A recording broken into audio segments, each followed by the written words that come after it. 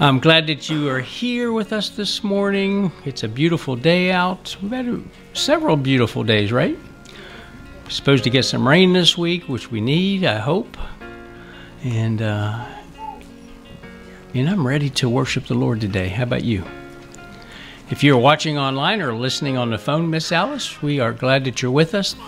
This is First Baptist Church of Welcome. I am Pastor Mark, and we're ready to get our Jesus on, right?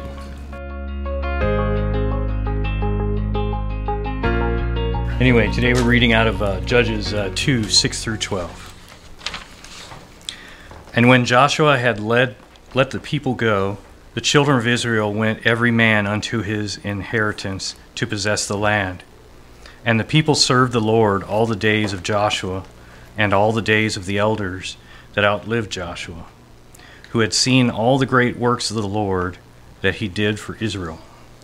And Joshua the son of Nun, the servant of the Lord, died, being a hundred and ten years old. And they buried him in the border of his inheritance in, I have no idea how to say that word, Timnath Heres, in the mount of Ephraim on the north side of the hill Gaash. And also all that gen- uh, generation were gathered unto their fathers, and there arose another generation after them which knew not the Lord, nor yet the works which uh, he had done for Israel. And the children of Israel did evil in the sight of the Lord, and served Baalim. And they forsook the Lord God of their fathers, which brought them out of the land of Egypt, and followed other gods, of the gods of the people that were round about them, and bowed themselves unto them, and provoked the Lord to anger. My gosh. Happy Father's Day again for everyone. To all you you men soon to be dads, uh, will be dads eventually. Father's Day. So, Dad, any of you guys cooking today? That's okay, right? That's what we do. We like to do that. We like to cook on that, their grill and whatnot. Oh. The father of five children had won a toy at some raffle. Uh, he called his kids all together and he asked them which of them, uh, you know, which one of you should get a present. They're trying to figure out the fair way to do it. So he said, Who's the most obedient? Who never talks back to mom? Who does everything she says? Five small voices answered, Okay, Dad, you get the toy. Today we honor dads. Yay, that's me. Seriously. You know, God, our Father, made us dads, right? And what an honor it is to be a father, to be a, a parent. Uh, not so easy in this world today. However, it is an honor to be able to, to call yourself a dad. And I say dad because there's a difference between a father sometimes and a dad. You know, any man can be a father. You know, anybody can can make a child, any man can make a child, right? But it takes someone special to be a dad. And we'll talk about that a little bit here in a little bit. So we, we set a day apart every year, a Sunday, to to celebrate our fathers in this country. And we're to honor our fathers not because it's a holiday, not because it's a tradition, not because there are sales going on all over the country. By the way, this is the perfect weekend to buy tools and stuff. Just, just saying. Uh, but because God tells us to. Did you know that? In fact, He said so very specifically in Ephesians 6, verses 1 through 3, where he says, Children, obey your parents in the Lord, for this is right. Honor thy father and thy mother, which is the first commandment with a promise, that it may be well with thee and that thou mayest live long on the earth. Now, it doesn't say honor only the good moms and dads. It doesn't say honor them if you like them, if they didn't make you mad today, if they didn't give you what you wanted. It doesn't say honor your mother and father because you know they they're not perfect. It says honor your mother and father regardless of what your relationship was or is with them. Honor them. And so today we're going to honor our fathers. And while I'm speaking to the dads out there today, don't check, check, check out if you're not a dad, because what we're going to hear this morning, we all need to hear. Because we are involved in a war. And the battleground isn't in the Ukraine, it's not in Afghanistan, it's not in China. The battleground is in our homes. And what's at stake isn't our land, it's not our property, not our freedoms. It's more, more important, so much more valuable than that. What's at stake is our kids. And believe me, it is a war, and it's the most important war. And in this country, brothers and sisters, we are losing the battle. Children are turning from the faith in record numbers. It says, as, as soon as they leave home, as soon as they go to college, they leave the church. And don't think that it's only a problem here, it is all over the country. Children in record numbers are turning away from God. But that's nothing new. It's been happening over the course of time. So I'm going to tell you this that brief biblical story this morning that, that Jeff wrote, read for us this morning in our scripture in Judges chapter 2, verses 6 through 12. And I'm going to guide us through, through it a little bit. So, the little background here on Judges chapter 2, verse 6 through 12, I'm not going to read it again for you. I'm just going to skim over it. The nation of Israel had just marched into the promised land. And they were settling into the land. This is the God, the, the land that God had, had promised, you know, Moses and the Israelites. Now, it wasn't a complete victory because when they went in, they didn't always follow what God told them to do. And instead of, conquering all of it, like, like he had told them to, to, to conquer every person, every tribe that was in there, Instead, they just decided they would settle into the parts that they liked, right? and then it was pointed out to them that they, they weren't doing what God had told them to do, so they repented of that. Now, with, it, with that in mind, we go into our, our subject of, the, um, of the passage of Scripture. And it goes in to tell us that, that Joshua passed away, right?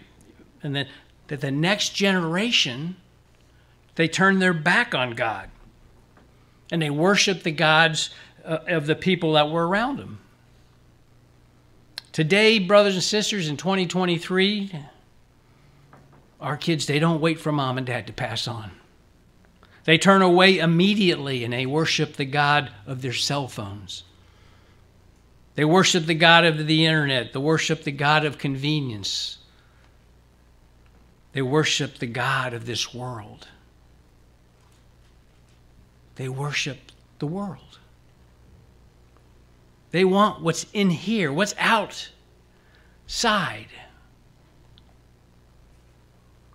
1 John chapter 2 verse 16 tells us for all that is in the world the lust of the flesh and the lust of the eyes and the pride of life is not of the father but is of the world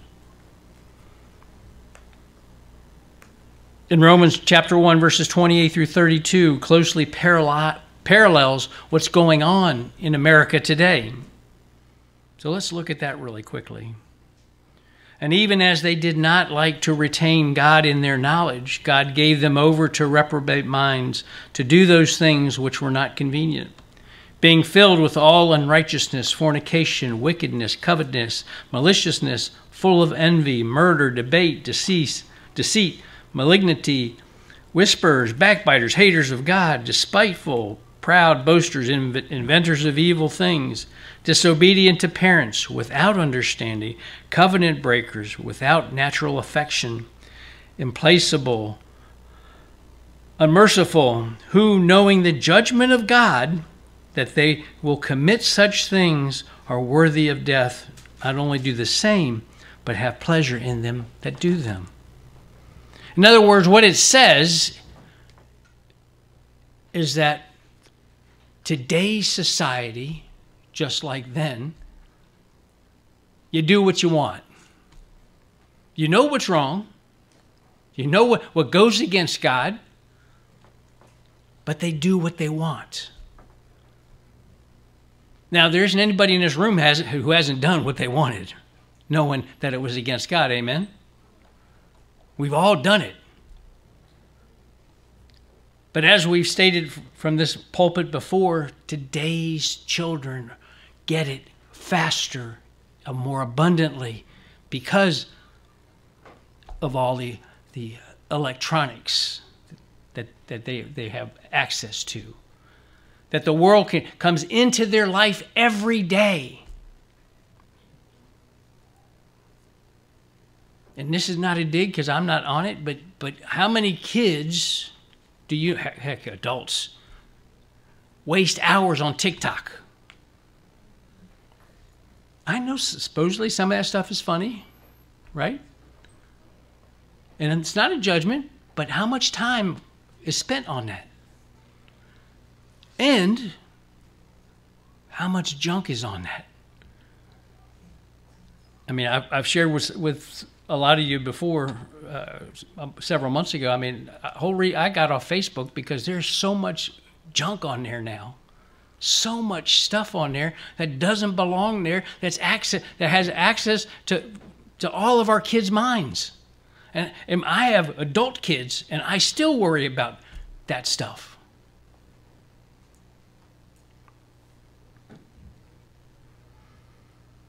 Do you realize that, that we live in a culture that approves of turning its back on God? That actually actually promotes turning their back on God. You see it from uh, you know from court cases you read about or hear about to, to, to TV programs to popular movies and music. And it's okay to make fun of, of Christianity because it's not important anymore. It's not relevant to the world. It worked for mom and dad, but it doesn't work for us today. Religion, my mom and dad's faith, that's their faith. And that's true. Your faith ought to be your own faith. But it should be in God, not in the world. But I can tell you this this morning, moms and dads. You are on the front lines. This is a war, and we're called to be a part of that war. I don't care how old your kids are. This morning, I want to give you some marching orders to tackle this important task of saving our children. So, we're going to look briefly at a few steps that are going to help us do that, I, I pray. How, we can, how can we win this war? Well, the first suggestion I have this morning is with our words. In Deuteronomy chapter 6, verses 6 and 7, it says, And these words which I command thee this day shall be in thine heart.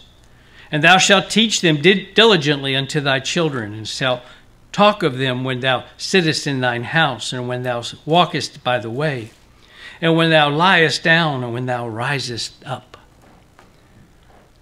That says we need to talk to our children, not talk at them. There's a difference, right? I mean, I mean, sometimes we do that. We talk at our kids. Sometimes we talk at people we work with instead of talk to them, right? We need to tell our kids about God. We need to tell them about His Word. We need to remember to tell them what God has done for us. Tell them your story, how God works in your story. Are you sharing what He's doing in your life? What has God done for you?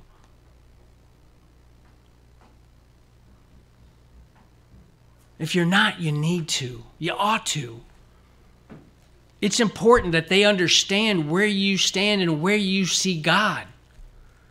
If all they see is you beating the, horse every every week, getting to work and after work, and come home and do your, your your mother and fatherly duties in the house and do nothing but that, then they're not getting an example. They're not seeing God. They might see you pick up the word. They might see you sitting in a pew on a Sunday morning, but, but if they don't see you living it, if they don't hear it from you, then they're not getting it. And I'm telling you, coming to church on a Sunday morning is not going to give it to them. It gives them a little piece, it gives them a little seed.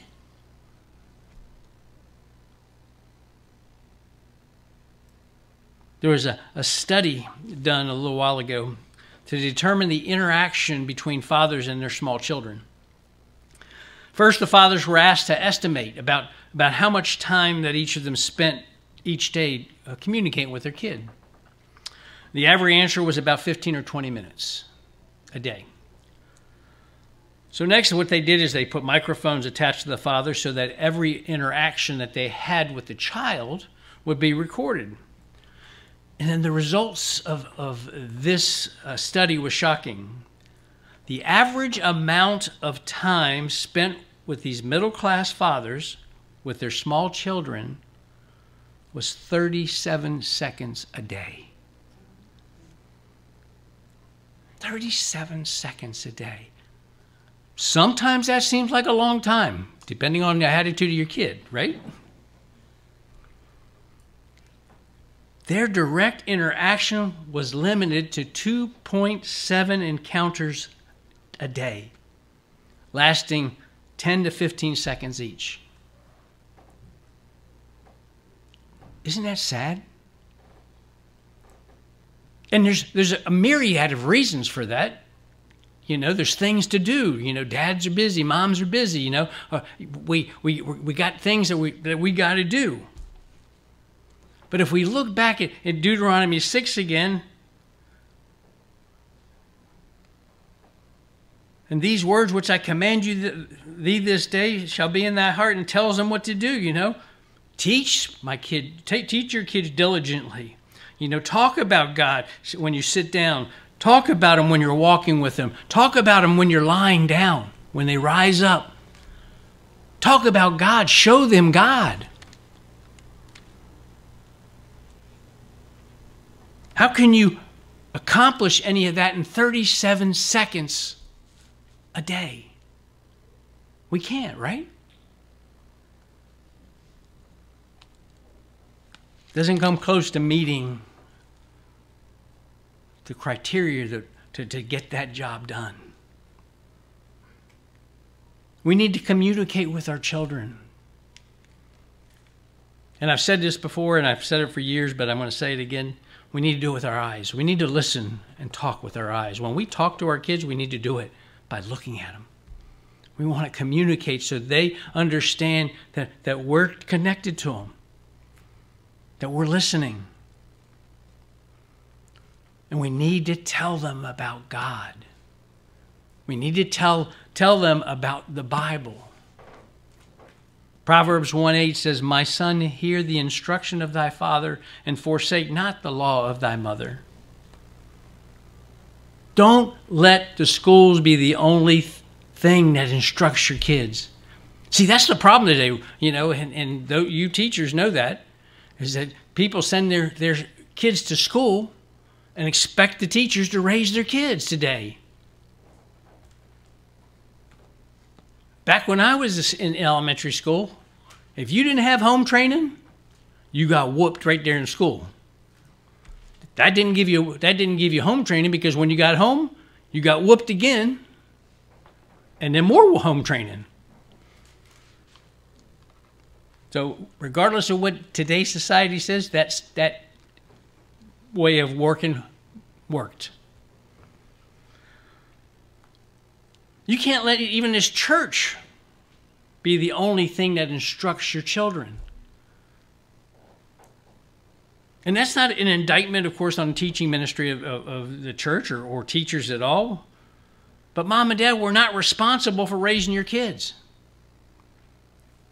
We'll help you. That's what we're supposed to do, right? We're supposed to give you a hand when we can. But when the Bible tells us to train a children in the, a child in the way that he would good, and when he gets old, he, won't turn for, for, from it.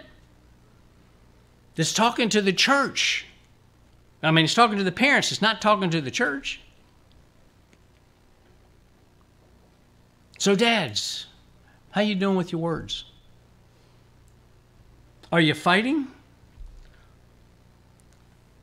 Are you sharing God with your child? Our second suggestion is how we can win on how we can win the war uh, for our kids is with our time. Robert Schuller, who was the uh, some of you older people might know remember the Crystal Palace on TV was one of the first televised, you know, big churches on TV, and he was the pastor of that church. Um, and he chose to fail so that he could succeed. He said, I chose to fail at golf if I wanted to succeed as a father. Though he loved golf immensely, he knew that he could never devote adequate time to his job, his hobby, and his family. So he gave up his hobby. The problem with most men today is we don't give up our hobbies. We don't give up nothing. We try to spread our life, you know, throughout the day, and spread ourselves so thin that we give our kids 37 seconds. Our lives are so full.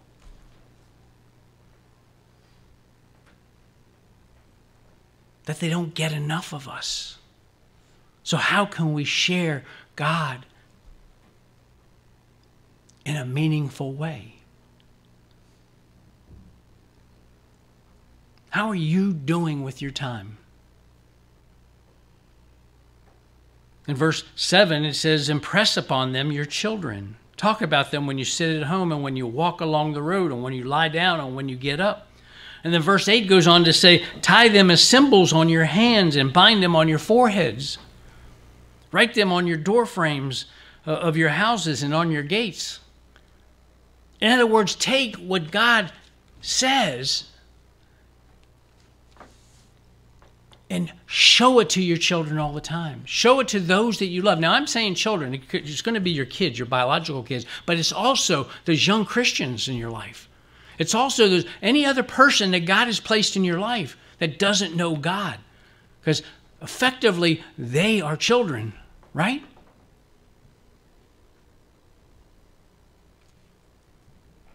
Dads, do you want to know what's important in your life today? Look at your schedule.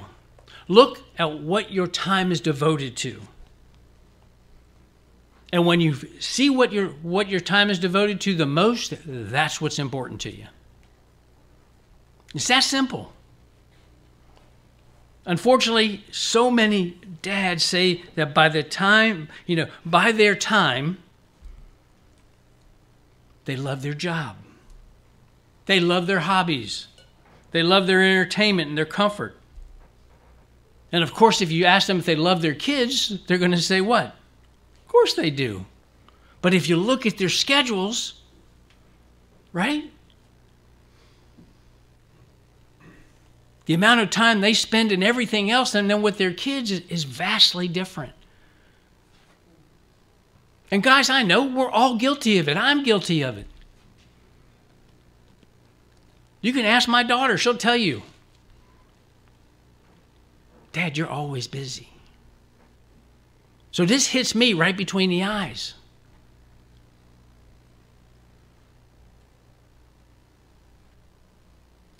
Some of you have been brought up thinking, you know, that that's the way the world. You know, we, we, we live, we work, we might play a little, t- little bit, and then we die, right? We work to, and keep on working and work some more so that we can take care of our kids, take care of our families. You know, and, and that's, that's an important biblical truth. 1 Timothy 5 8 says, But if any provide not for his own, and especially for those of his own house, he hath denied the faith and is worse than an infidel. But see, we go beyond that sometimes. We should provide for our families, but we take it to the next step. I'm going to provide for my family, but I want that boat. Or I want that F 350 crew cabs, dually four wheel drive XLT Lariat, no, King Ranch.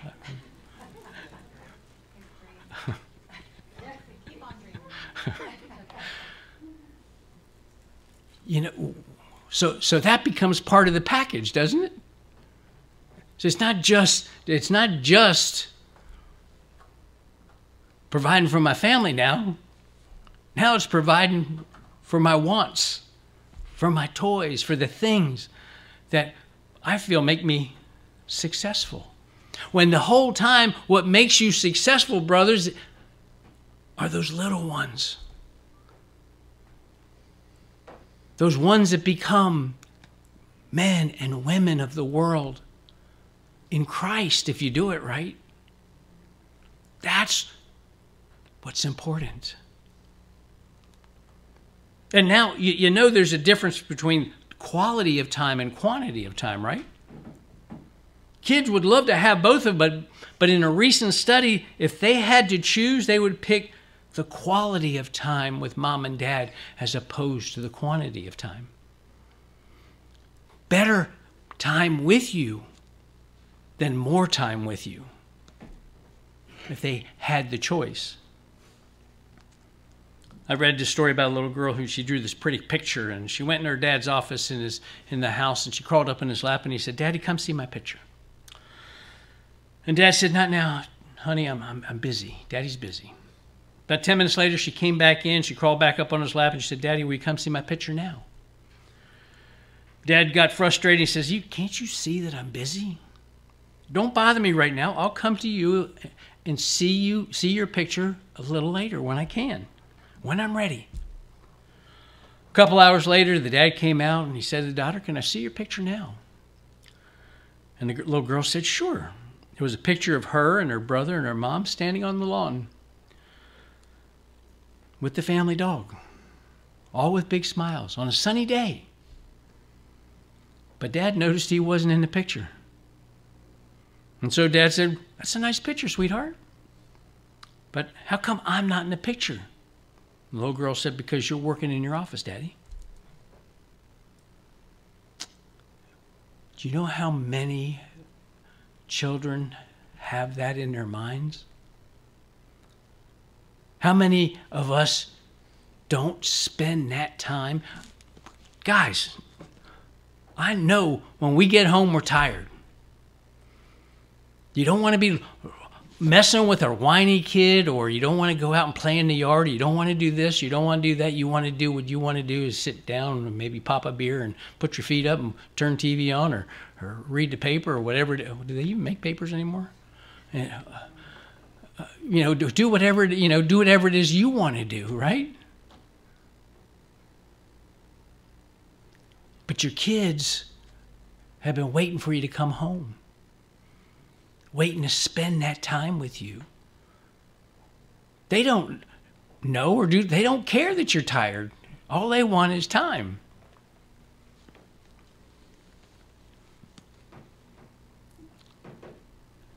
If your child was to draw a picture of your family today, would you be in that picture?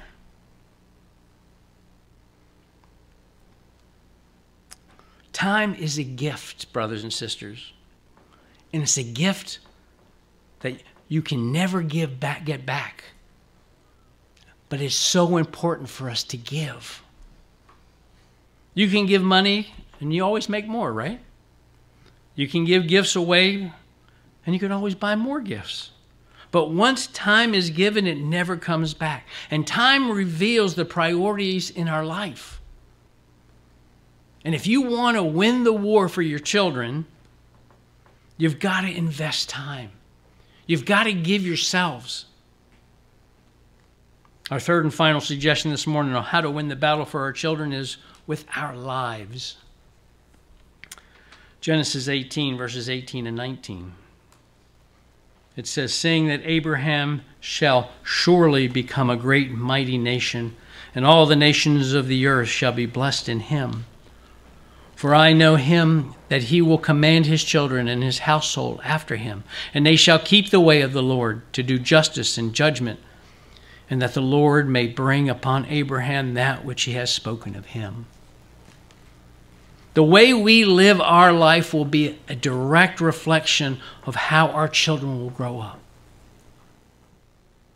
There's a song um, that's called I Want to Be Just Like You, it, uh, sung by Phillips, Phillips Craig and, and Dean. And the words go something like this Lord, I want to be just like you because he wants to be just like me.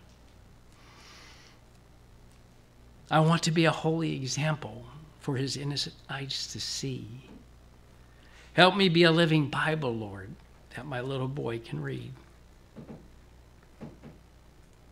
I want to be just like you because he wants to be just like me.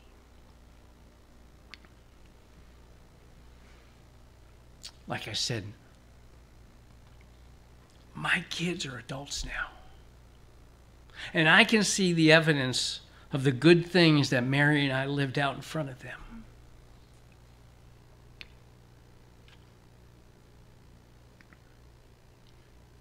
And sadly,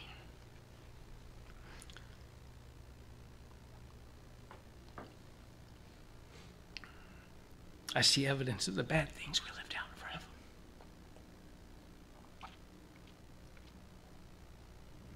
It's kind of like this situation. There's a little boy, he was caught swearing like a sailor.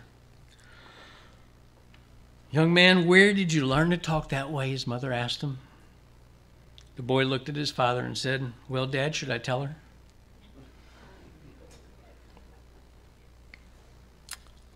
In 2 Kings chapter 14, verse 3, speaks of a king of Israel named Amaziah. And it says, And he did that which was right in the sight of the Lord, yet not like David his father, he did according to all things as Joash his father did. What kind of example are you setting for your kids? Your words might say some things about you, but your life declares who you really are. Are you fighting the war with your life? And as we wrap up, I want to talk to you kids that are still here. Life isn't always what we want. It isn't always what's best. It isn't always pleasing to God. There's some of you here this morning who have dads that, that aren't all that great. Maybe not even be there. How can you honor your father even when it's difficult? How can you go through life without a good father? First and foremost, you have the best father. You have Father God.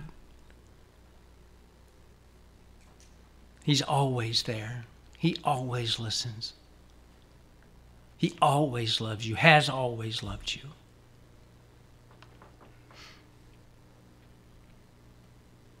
And if you happen to be in this church and, and or, or listening online or on the phone, and your father's not around, we call this church a family. You feel like you need to talk to somebody that could be a father for you or a father figure, all you got to do is pick up the phone. All you got to do is reach out. And I can't think of one man here that won't stand up and fill the gap for you as good as they can. To be there to help you. All you got to do is be strong and reach out. There's a story of these young boys. They were having that conversation, that debate of, of whose father was the best. And this particular conversation, you know, was highlighting who their fathers knew. That's who made them the best, you know, their their connections. First boy, he started the debate by saying that his father knew the mayor. He was soon topped by the second boy who said, That's nothing. My dad knows the governor. Stakes were getting pretty high. And there was this father that was kind of eavesdropping on the conversation. And he said, That's nothing. My dad knows God. Would your child say that about you?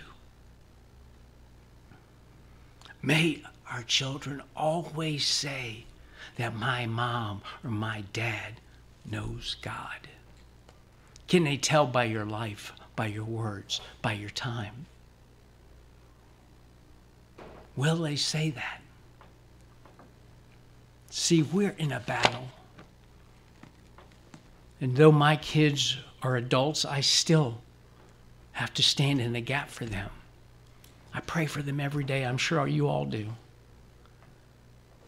I pray for your children in this world because they're important to me, to this church, to the kingdom of God.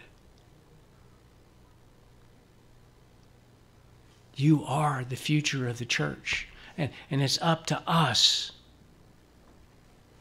to show them God every day, to tell them about God every day.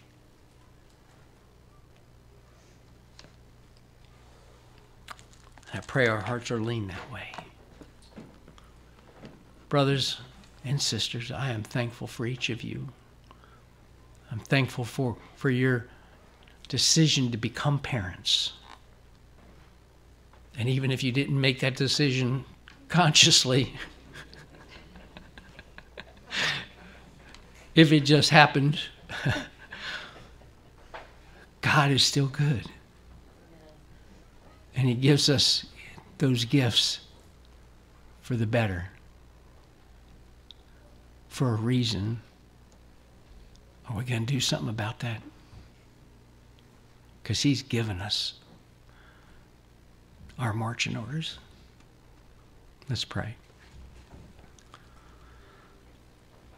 Father in heaven, you are certainly the best example of a dad.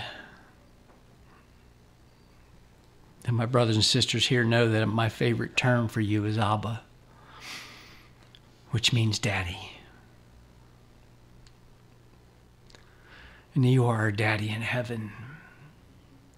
That you love us warts and all, even when we're the ugliest when our soul is the darkest, you stand there and you wait for us. Your spirit leads and guides us, picks us up when we fall. Oh my goodness.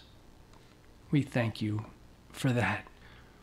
And you loved us so much that you sent your son here to take away all our sins, all the blackness on our soul. You raised him three days later so that we can live with you forever in heaven when he defeated death on that resurrection morning. You loved us so much. And you will love us through eternity. Thank you, Father, for giving us an example of, and the examples in, in your word of, of what a good father is, what a good parent is. I pray that your spirit moves in our hearts and in our minds. And as we go on from here on out, that, that we just show our kids the love that is you, the love that is Christ Jesus our Lord. I ask that you might bless every man, woman, and child here today, Father, all those that are listening. May you guide our steps and guide our hearts.